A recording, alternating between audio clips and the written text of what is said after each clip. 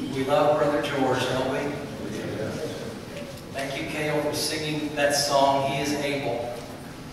Because God can do more than we ask or imagine, according to His power that work with us. And thanks to all of Cale's family for bringing Stetson today. We're blessed by young families that are starting out with the commitment that what God has joined together is precious, sacred, and wonderful. Wanting to raise your sons and daughters to the nurture and admonition of the Lord from the very beginning. God bless you in that. Well, going a few years later, you may have noticed a special glow from Ole and Judy Olson today, as this is their 52nd wedding anniversary. Isn't that tremendous? And he told me yesterday at the men's breakfast that they were very, very, very young when they married. And so I began looking through my archives. Could I find a photo of their wedding day? Well, I did the best I could. It's not actually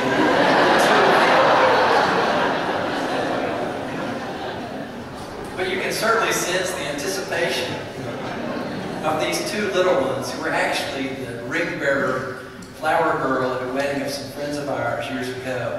And then I love this picture as the groom-to-be is sort of looking off, you know, what is yet to come. And then when the moment arrives, he's not quite so certain. you know, we talk so often about encouraging marriage.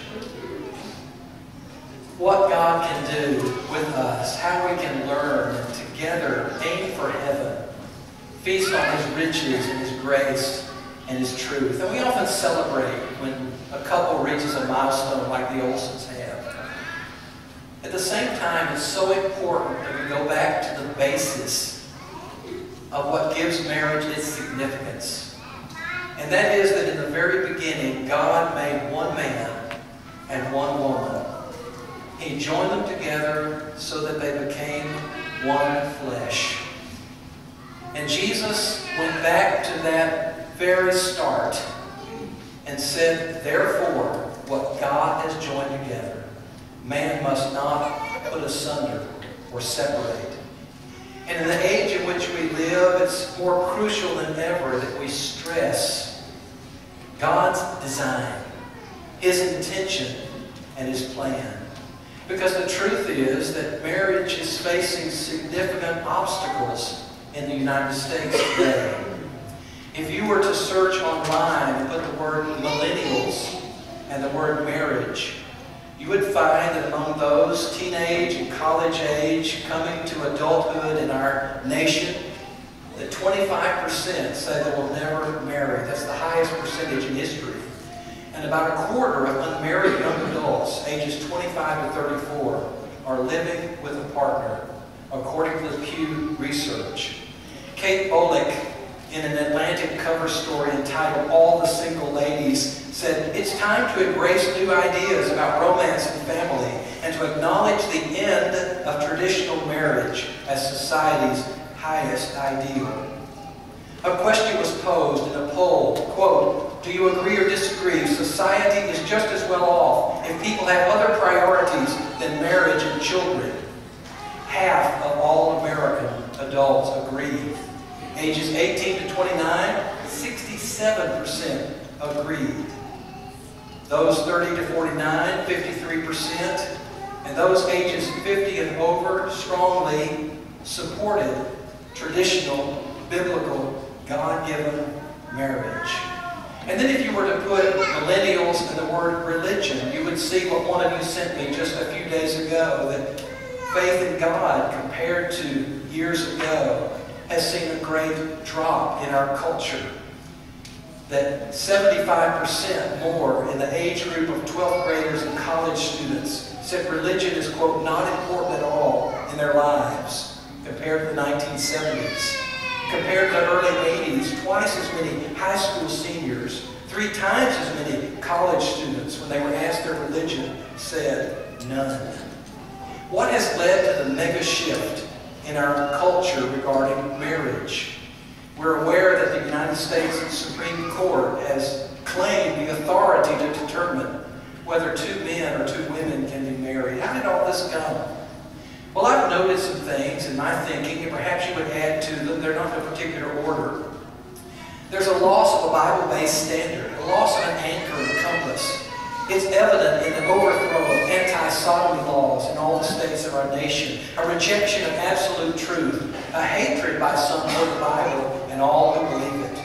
Russell Moore said that for much of the 20th century, one had to at least claim to be a Christian to be, quote, normal. But this is no longer the case. Those who don't believe can say so and still find spouses, get jobs, volunteer with the PTA, and even run for office.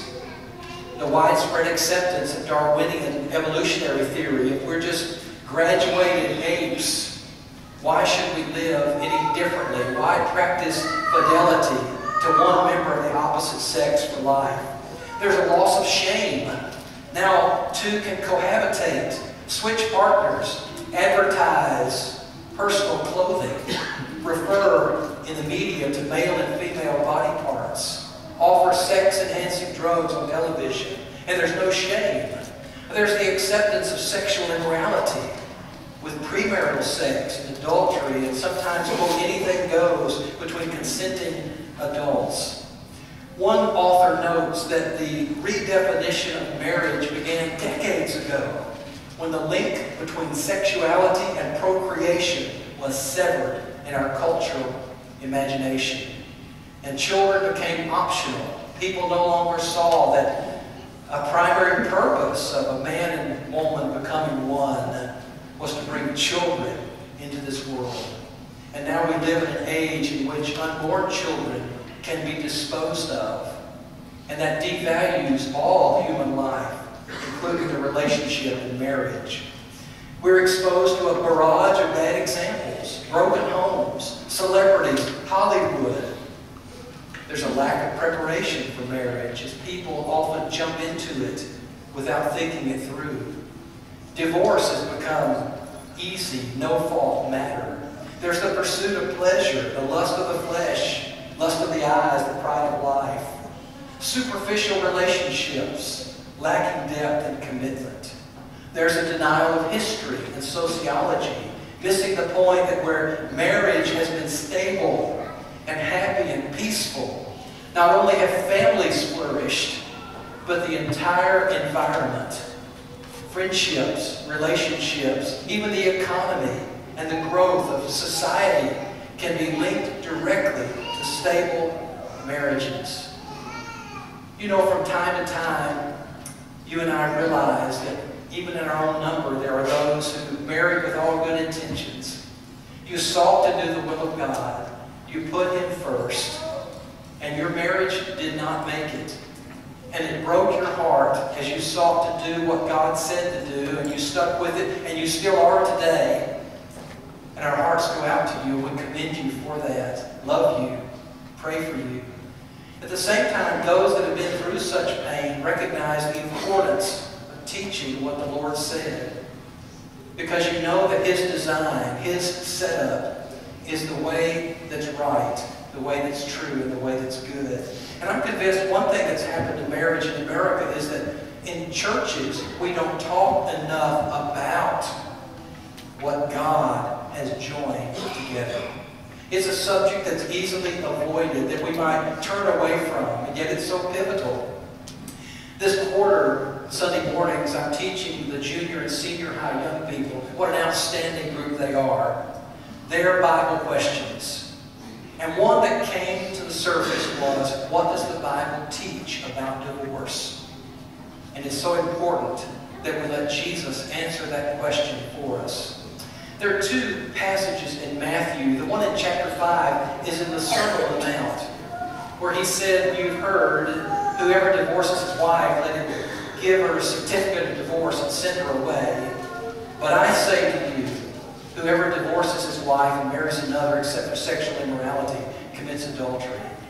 And then in chapter 19, where we're going to go now, if you would, the question is asked by the Pharisees, intending to trap him in his answer.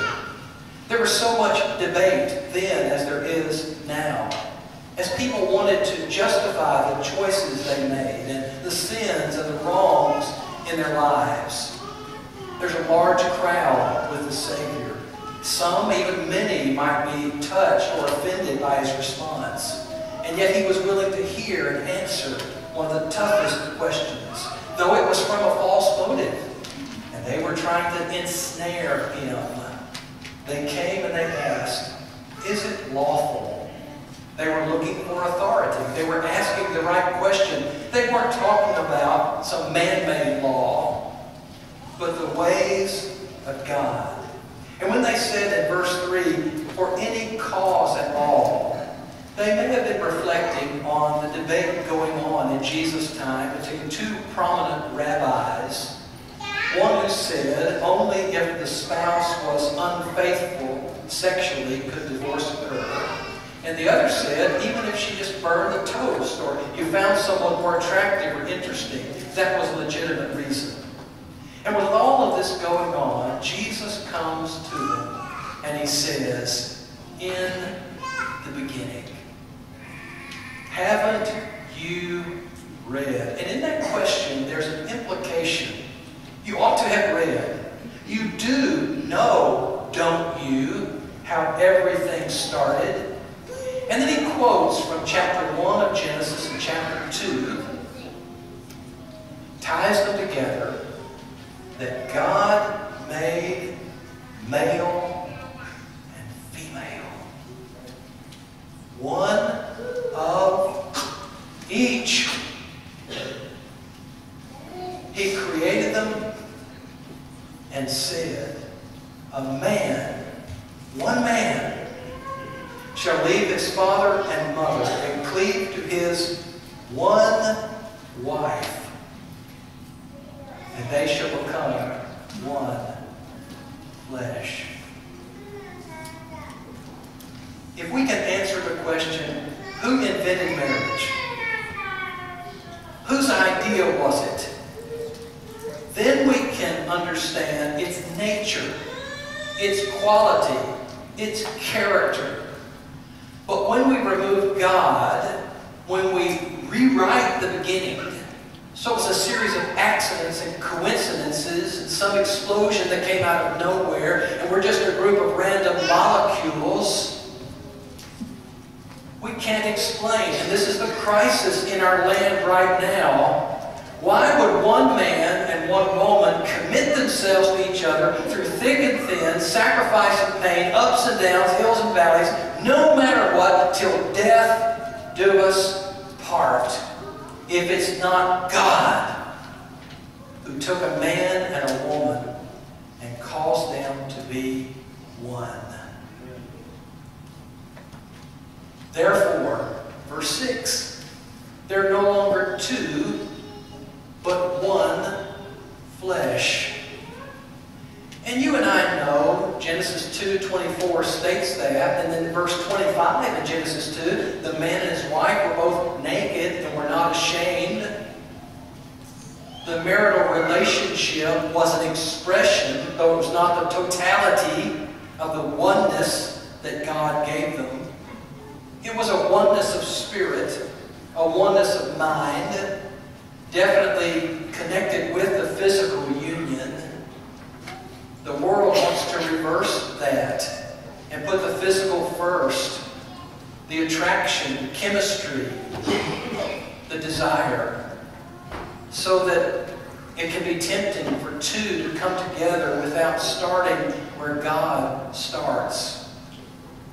God specially made the woman for the man.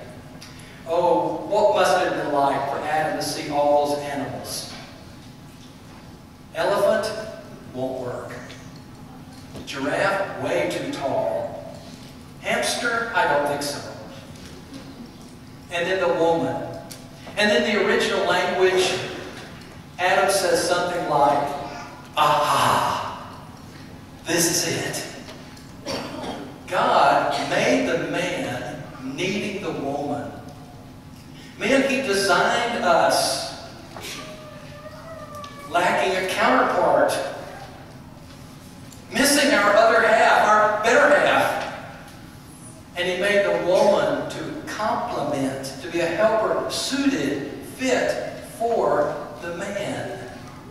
And when the two fit together in every way, that is God's design.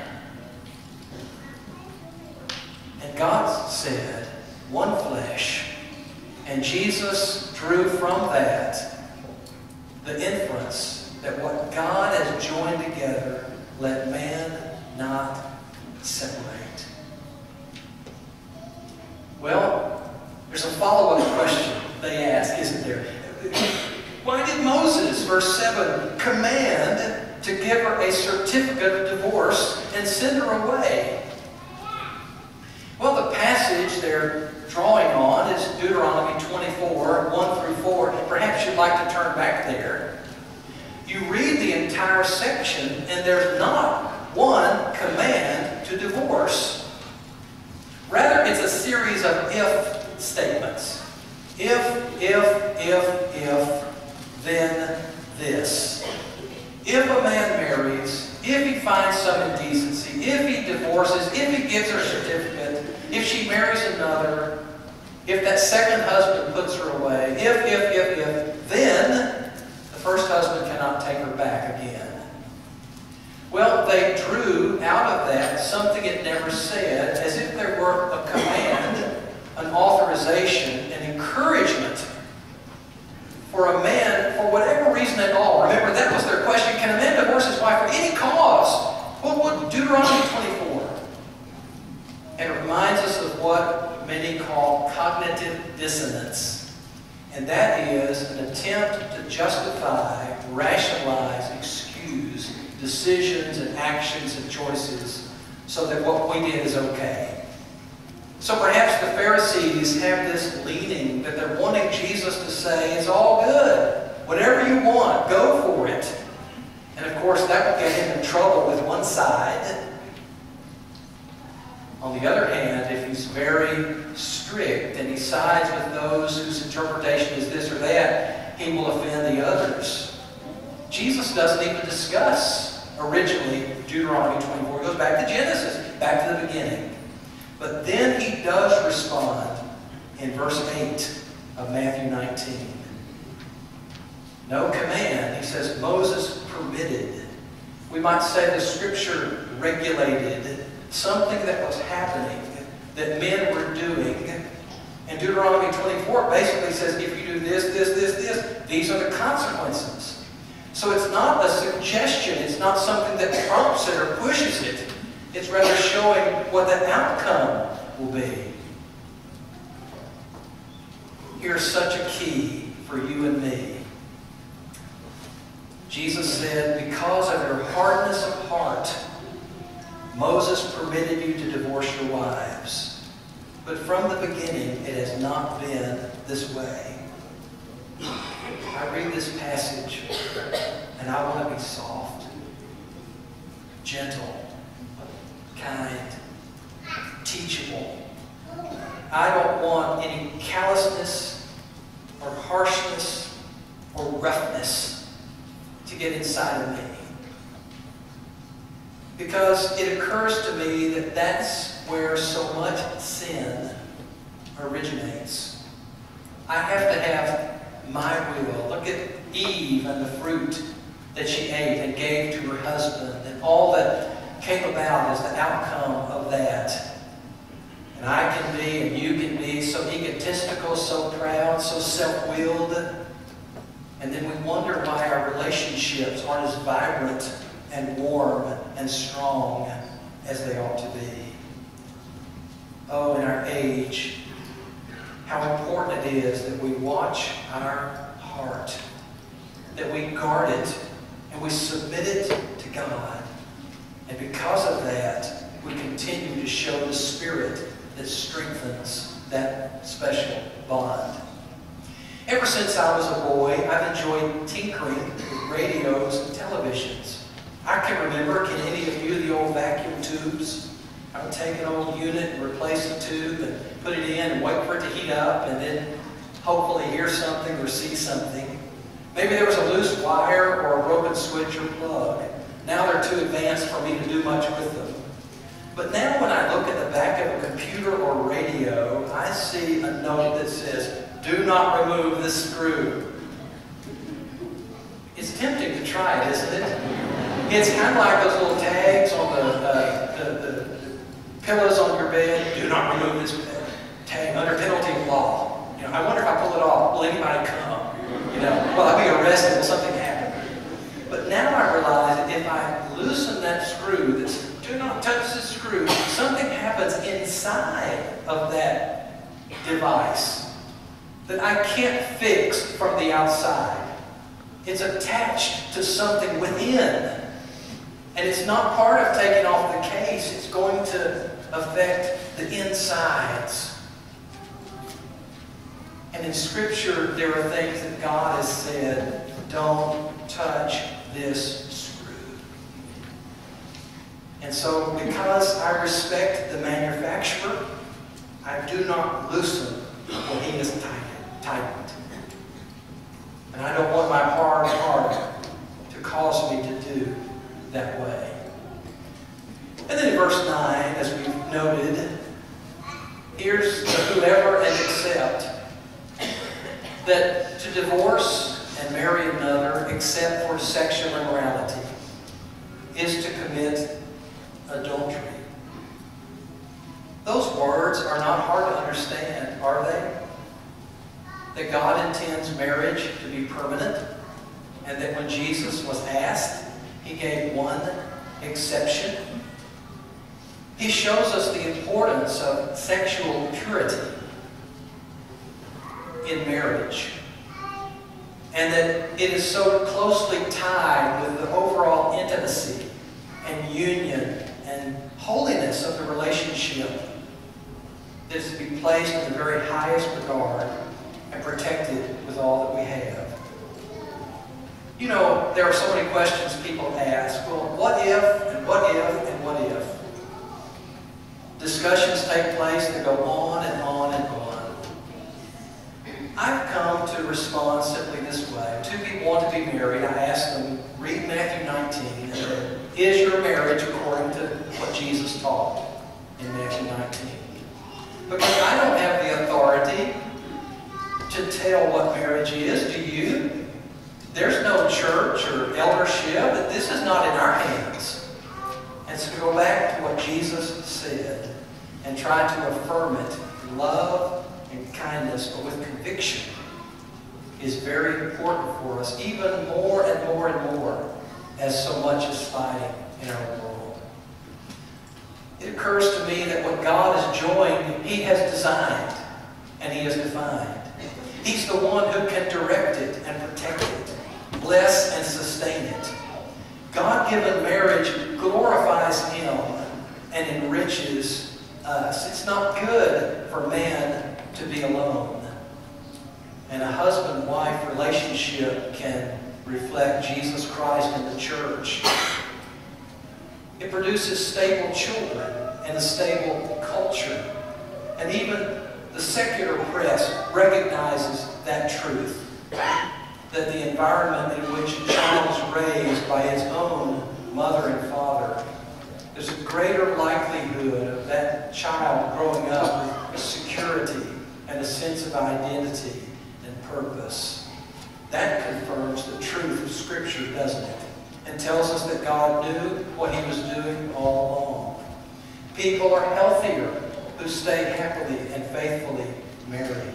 Their quality of life, even their financial status, there's so many things that are affected as a result.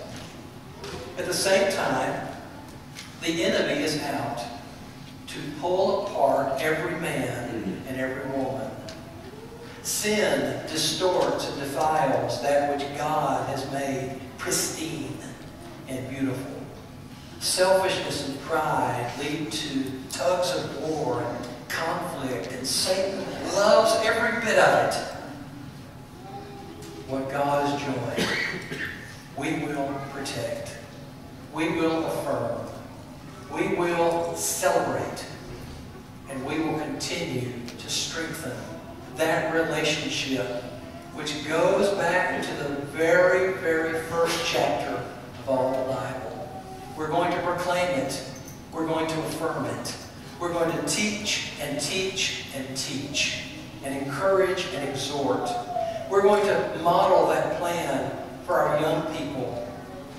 And we're going to make sure in the home that dads talk to sons and mothers to daughters and vice versa to clarify God's truth.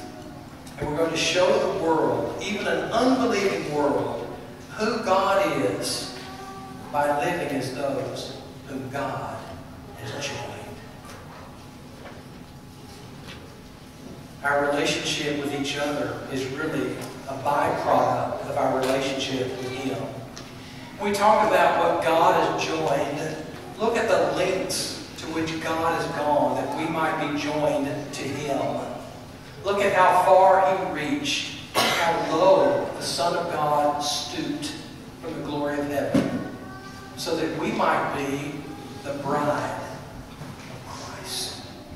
Does that describe you today? Oh, there's a wedding that could take place when you might respond this morning, confessing your faith in Jesus as the Christ, the Son of God, entering into his death and resurrection through baptism for the forgiveness of your sins, and then join to Christ. Live that way until you meet him face to face. If you have a concern, a need, an area of sin, a burden, something with which we could share with you today, won't you come? Let's stand and sing.